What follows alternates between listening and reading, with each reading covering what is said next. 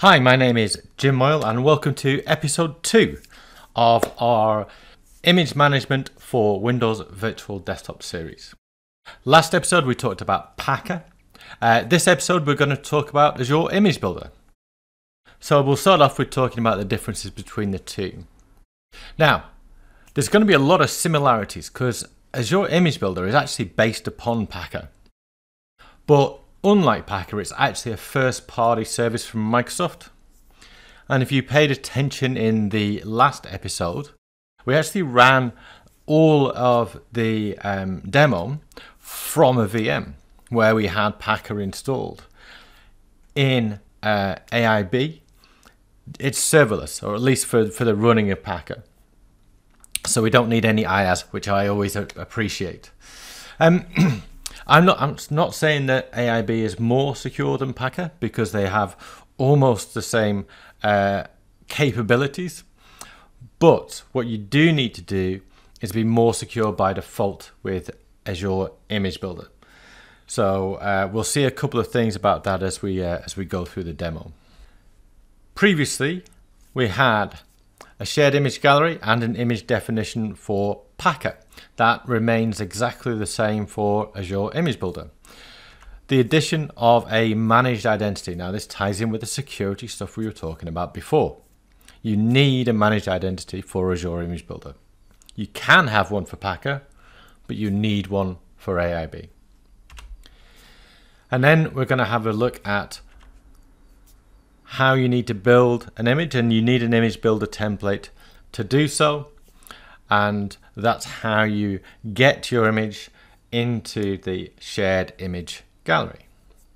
Let's have a look at some code. We're going to have five steps here.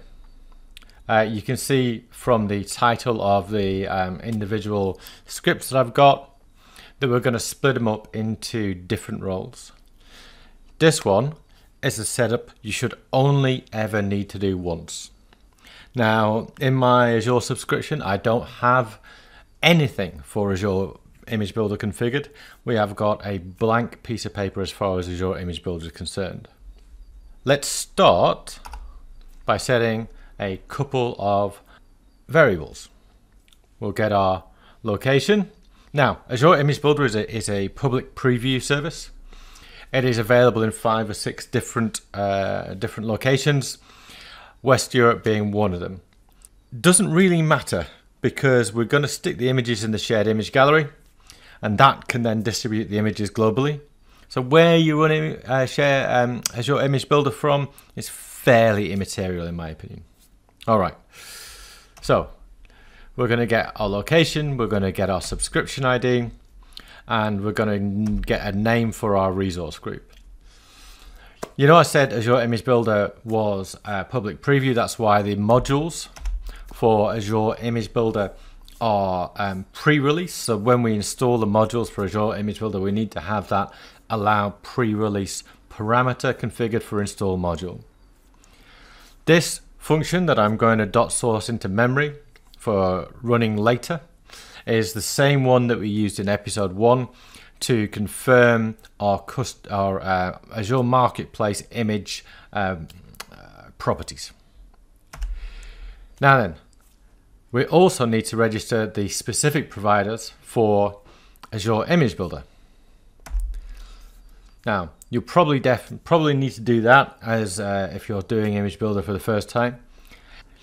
You'll also need, but let's face it, you should probably have Key Vault storage, and virtual machines already registered for your subscription. If you don't, if you've got a blank empty test subscription that you've just run up for this, then you'll need to register those uh, providers. Now we need to create a resource group. Easy peasy. So that is a blank and empty resource group. We need to put that managed identity into that resource group and give it permissions to that resource group. So let's create a couple of variables. We're going to get a random number.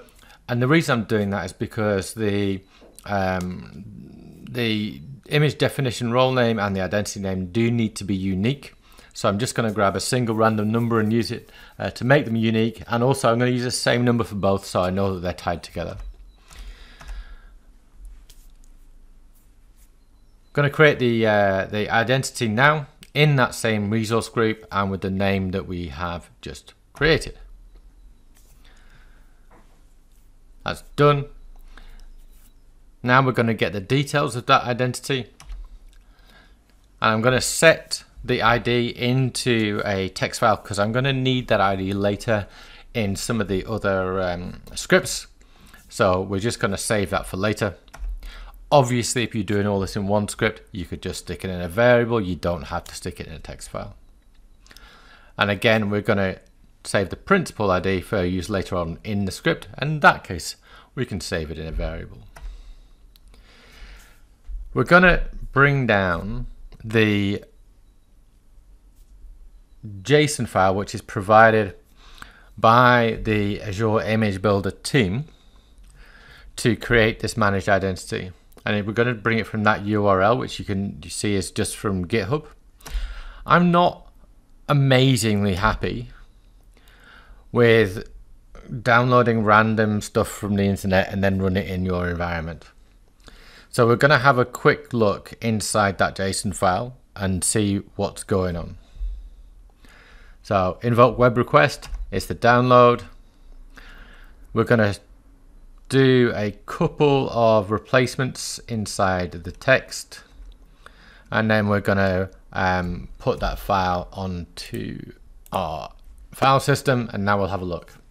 So we can see all we're doing is we're adding uh, read to our galleries for um, for the uh, root, the images and the versions and also write into our gallery image version. That all makes perfect sense seeing as we're going to stick our image into a shared image gallery. And because we need to manipulate the image, then we're, we're doing write, read, and delete. And the assignable scopes is our resource group that we've just created. So all of that looks fine. In fact, it's fairly short. So I would say that you probably don't need to download this. You could save it. And in fact, you could change the actions. So if you need the Azure Image Builder to go and look at some storage, maybe in a different resource group, then you could configure it here. Always look at and understand random downloads from the internet. So now we're going to create that role definition. Lovely. And now we're going to assign that definition to our identity. Let's have a look inside the portal and we'll have a look inside that resource group. And now we can see we've got the identity and nothing else. Now let's look at IAM and we'll do role assignments. We can see we've got this role here. And if we look inside the role permissions, we've got exactly those permissions that we just saw in the JSON file. So read for galleries, um, read for images, read and write for image versions, and read, write, and delete for images. Now let's create the shared image gallery. Now this isn't probably a fair comparison to episode one because in episode one we had the gallery and the um, resource group pre-set up. I just thought for the uh, Azure Image Builder I'd give you end-to-end all in PowerShell a script to set it up um, for yourself. All of this you could do in the GUI if you want. Um, it's it's a single time setup, so you know I'd per be perfectly happy for you to do it in the GUI. That's done. Let's check back in our resource group. And we can see now we've got our image gallery in our resource group. So that's it. So that's the setup that you need to do in your subscription as a prerequisite to using Azure Image Builder. The next thing we need to have a look at is our per image SKU. We've got a number of variables in addition to what we configured for the once only setup, stuff that we need to know. Basically just names of things. Um, that's fine.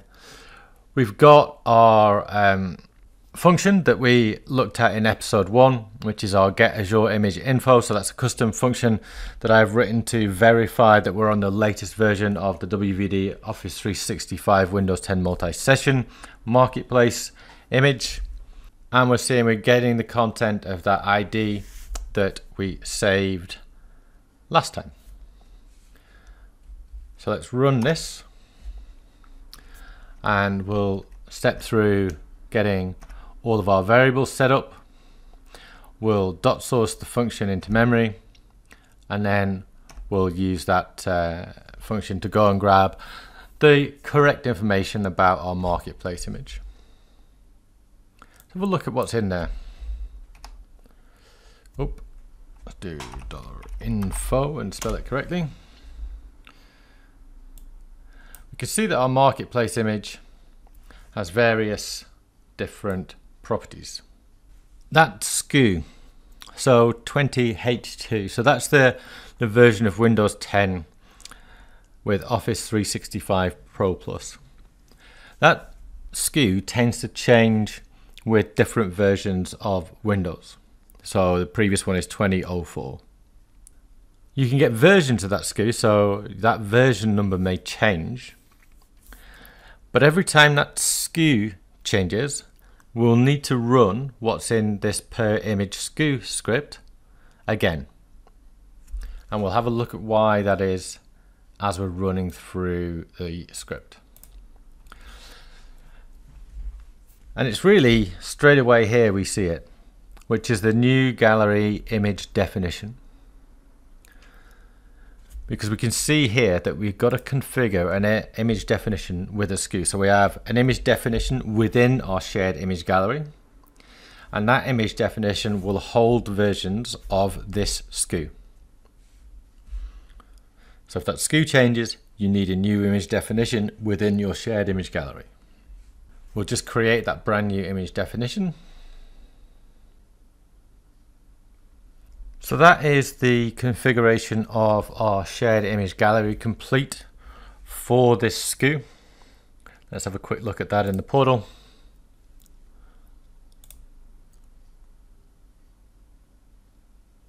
And there we have our image definition. So now we're moving on from configuring our shared image gallery to configuring Azure Image Builder template object.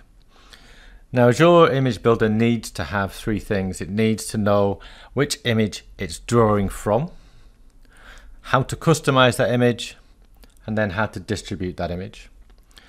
This first set of variables, parameters, and command is, as you can see, is to configure the source object. So we can see again, we've got the, the uh, info about that image with the publisher, the offer, and the SKU and we're just creating that source object.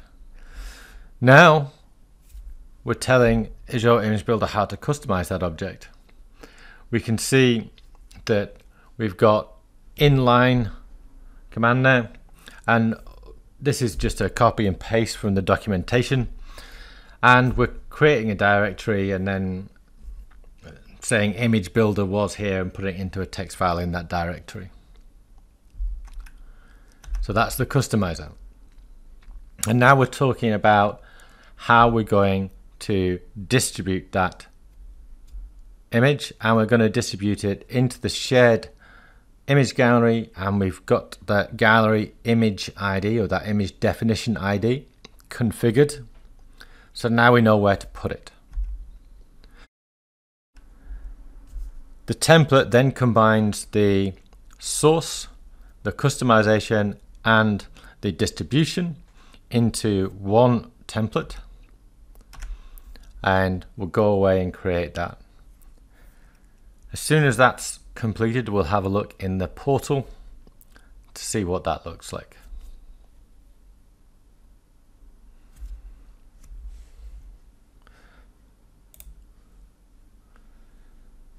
Now if we refresh our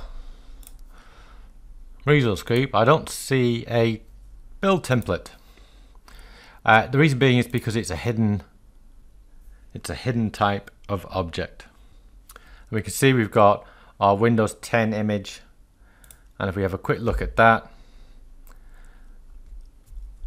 we can see some general information about this builder but we can't actually see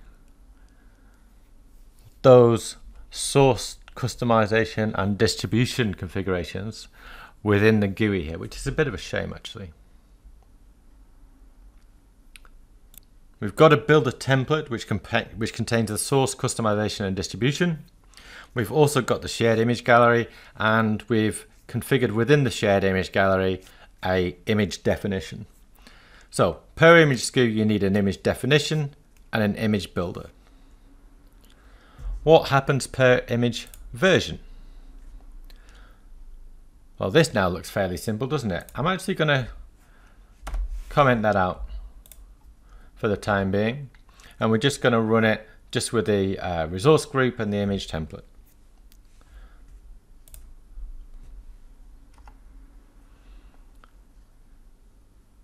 All right. So we're starting that Azure Image Builder template. So that means we're going to take all the details in that builder template and create an image from it. I'm just going to expand the terminal there and then we'll also have a look into our resource group. No change there. But if we look in our resource groups, we've now got a new one. Like Packer, this is an auto-generated resource group and it is tied to that image builder object. So whilst you still have that builder object, you will use this resource group. We've created a storage account and a key vault within this resource group.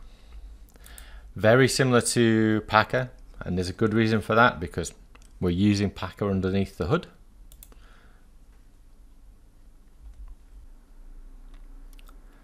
Now we can see we've got a few more things in the resource group. And interesting, we've got something that did not appear when we used Packer in episode 1, which is the network security group.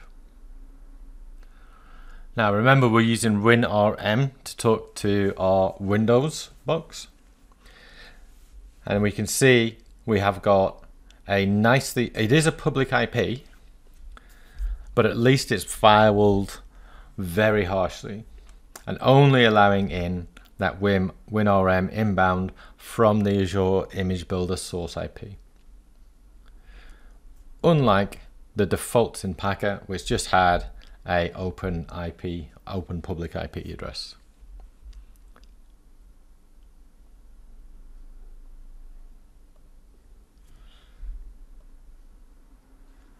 Now we've got a couple of extra things in and this is uh, all we'll uh, get in this resource group.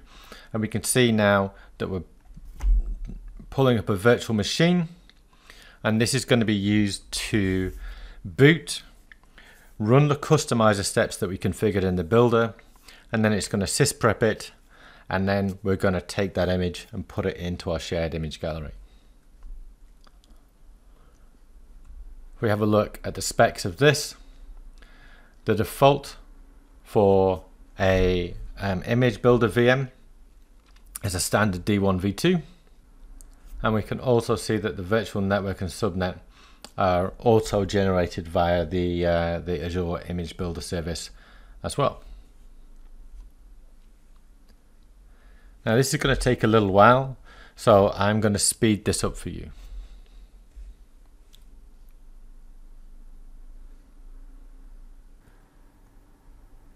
So we've cut out a little bit of uh, deployment time there and we've finished deploying our image. Let's have a quick look inside the portal. And we can see that now we have a new image version inside our resource group. We have still got our other resource group around, the uh, temporary resource group, but now it only has a storage account. Now in there you can find uh, some logs and in fact there's a VHD in there.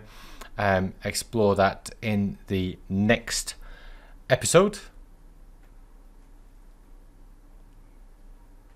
But let's have a look at this image and we can see that the replication is completed and everything has succeeded.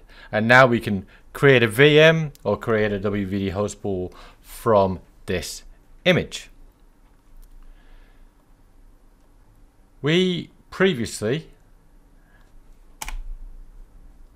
commented out that no wait parameter. What we're going to do is we're going to go again because our per image is, is just this script, right? Everything else is per um, per SKU or, or once only. So let's see what happens if we have the no wait um, parameter included. All right, well, immediately our PowerShell um, control is returned. And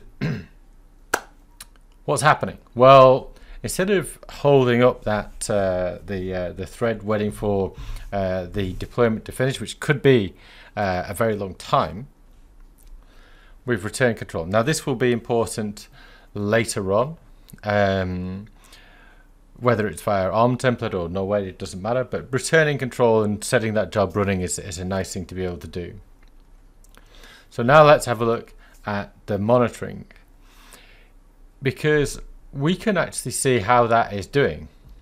Because if we run this, we can see there isn't a provisioning error message. So essentially what is configured in our builder was correct. We knew it was. We've already pushed out an image on that version. And our last run status and uh, substate is running. So it's doing what it needs to do and it's building. And what that will be doing is going to the um, existing staging resource group, which previously just had that storage account in, and it will be populating that again with key vaults and everything like. In fact, let's have a look. Let's have a quick look at that.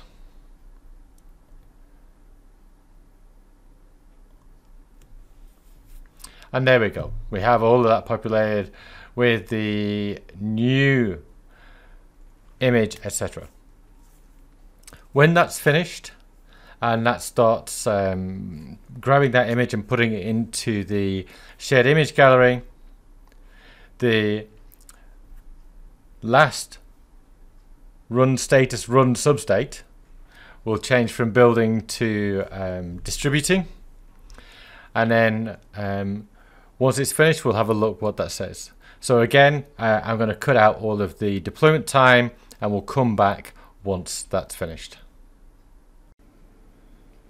So our second image has just deployed.